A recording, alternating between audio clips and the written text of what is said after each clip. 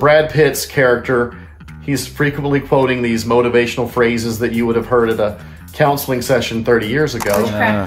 Hurt people, hurt people. Somebody once said to me, hurt people, hurt people. As much as he's a uh. handsome guy and he's he's charming, he's probably the, the worst actor in the movie.